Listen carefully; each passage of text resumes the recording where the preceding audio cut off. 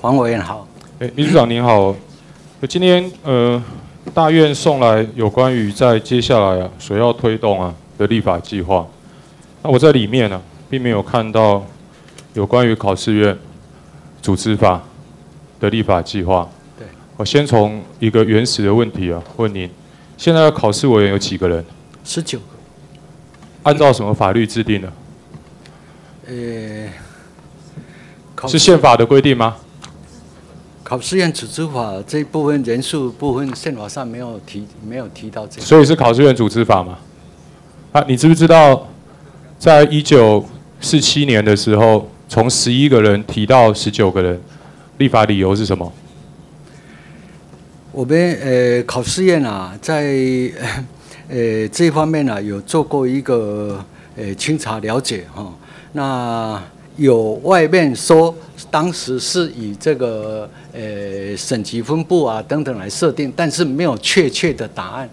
好，来停一下哈。是。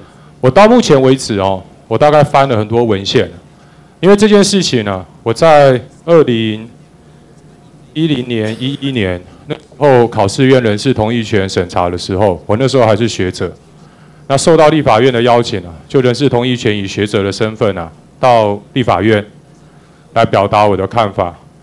那那个时候我参加公听会的时候，我一定很认真啊。我大概把所有的资料，虽然时间很短，我能够搜寻的就尽量搜寻了。这个是我唯一找到的理由啊，就是由前考选部全序部次长徐有守先生，他曾经讲过啊，说行宪以后才有考试委员，行宪以前是没有考试委员。来到台湾以后，大家都知道有个不成文法，华北、华中、华南若干省，一省一个考试委员，然后西北、东北、西南各区加起来十九个考试委员，就是这样子分配的。这个就是一九四七年的立法理由。我想要请教一下秘书长，现在是二十一世纪啊，我们还需要这么多考试委员吗？呃，报告委员。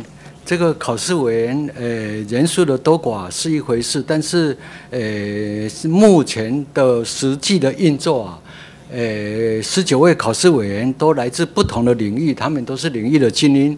那在用合合议制的这个呃体制之下呢，他们能够发挥多元专业思考的这样的功能。好，我再请教你哦。是。你觉得日本的文官制度做得好不好？日本文官制度，中央和地方是分立的，截然不同两套。跟这个我了解。好，我现在问你的是，日本的文官制度做的好不好？呃，我不敢说好，因为日本经济已经衰退二十年，现在爬不起来，所以我不。所以你的意思是我国的文官制度跟日本的文官制度比起来，事实上我国的文官制度可能比日本的文官制度还要更好？你的意思是这样吗？呃，这个问题见仁见智了，我不敢说他一定比我们好。所以你就这意思是在伯仲之间嘛？没有关系啊。我们有我们的特色。你讲的话都会留成记录了，那以后大家可以进一步啊，去评试啊。这个是我们考试院的人事费啊，院长、副院长、秘书长各一人，考试委员十九个人，加起来，这是每年五千两百多万。我们人事支出啊，来先请蔡部长，还有周部长。好，请蔡部长、周部长。我可以下去了。可以可以。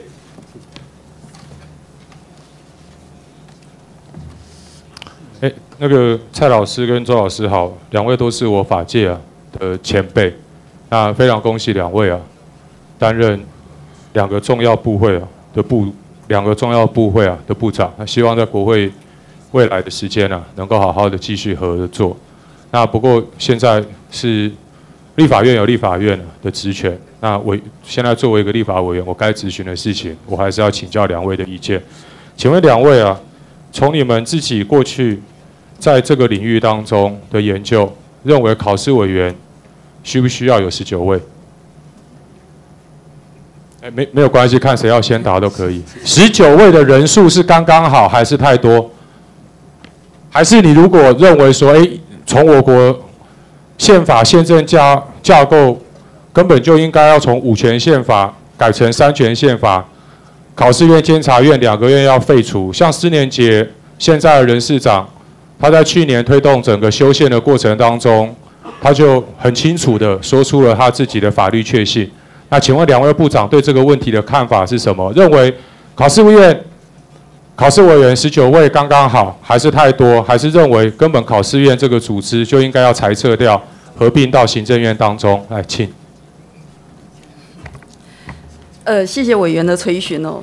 这个，呃，考选部是考试院所属机关哦，所以回答这个问题是略显尴尬。但是，呃，这个既然委员垂询哦，我想就是这个本于初衷来回答。这个，我认为这个问题，呃，可以分为两个层次来说明。第一个层次是，呃，现行的这个考试委员哦，经总统提名，立法院同意后就职。任期六年哈，那任期将呃应该是会在呃应该应该是会在四年后哈，这个将近五年的时候呃到期。就这个部分而言，个人认为，无论这个法律制度哦，乃至于这个呃修宪哦，都应该要有存续保障。好，就这个现任考试委员的部分，那至于未来的这个，不管是考试院组织法，还是呃甚至有修宪之意。我个人认为，心智应该要就这个问题，可以再做一个有一个思考调整的空间。也就是，呃，这个考试委员的最重要的职责是依宪法规定独立行使依法律独立行使职权。所以，考试委员的任务是在依据宪法的规定以及法律的规定呢，确保考试制度以及考试选材的这个。呃，国家人才有主要是公务员哦，能够依法任用。我觉得这个任务啊是要在法律的这个前提之下来行使。所以我个人认为，考试委员的任务既然是依法律来确保这个宪法所设计的这个权限哦，能够呃这个这个这种顺利的开展，那理应依法律行使这方面的职权。所以人数其实不用那么多。好。谢谢蔡部长，来请周部长。呃，八委员，因为全系部是考试院的所属机关，那我们当然是要尊重现行的体制。那至于要不要去修正，那当然我们也会尊重，包括立法院的意见。好，现在如果有立委提案要修考试院组织法，人数要降低。然后你现在针对这个法律修正案到本院来表示看法，你是赞成还是反对？是目前，因为我们是考试院下属机关，这个也也不属于我们的职权，所以我们也实在不方便就这一部分的来表示意见。没有了，我相信两位法界的前辈啊，都很清楚啊，世界各国大概人事制度，我相信两位前辈念的书比我还多，比我还清楚啊。日本的人事院只有三个人，我们有十九个人。那当然啦，他们中央跟地方是割离开了，没有错。但是日本的中央公务员有多少人？其实大家看一下资料就知道。那更重要的是啊，他们虽然只有三个人，他要求说，任期两个人不可以属于同一个政党、同一个大学系所毕业，任命前五年为政党干部、政治顾问或有同样政治影响力的政党党员，以及任命前五年为中央或部会。都道府县之公职候选人依人事规则，通通不可以为人事官。他虽然划在行政权下面，但是他们对于所谓考试、所谓人事的独立性，是透过这样子方式来界定的。那两位认为，我们现在目前的十九位考试委员当中，有多少符合这样子的性质描述？又有多少是违反的？有多少是政治酬庸的？有多少曾经在一个既有的政党当中扮演主要的地位或者是角色？这样子的制度难道不应该改革吗？时间到了，我那个主席，我可以再接一分钟吗？下次要还。好好好，谢谢主席，再请一下秘书长。哎，不好意思，两位部长请回。哎，李李秘书长。回来好。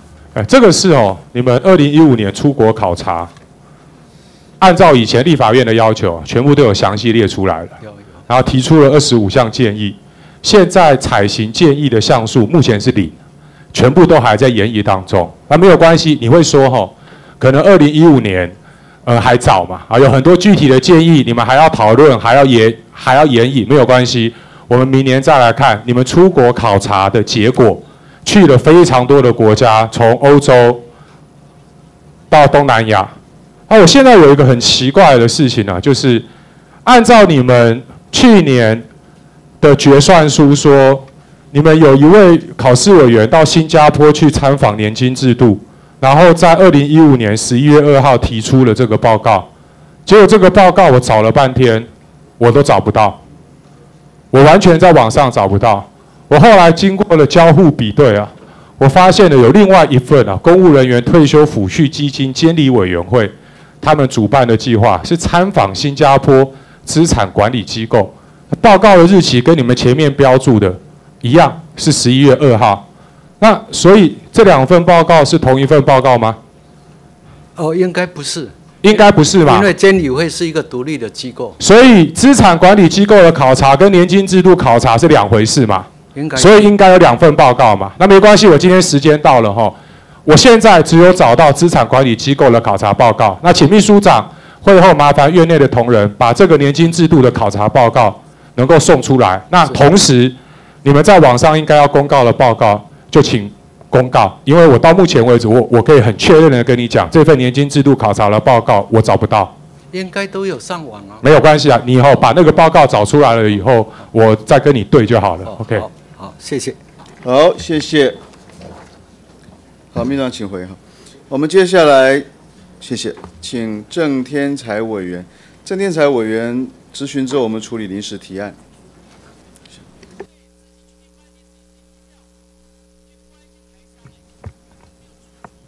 呃，主席，呃，各位委员，啊，有请，呃，我们两位部长哈，考，呃，考前系部。蔡部长跟周部长。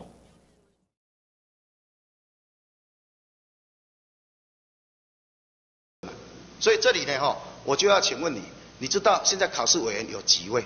十九位，依据编制上是十九位。对，这十九位编制怎么来的？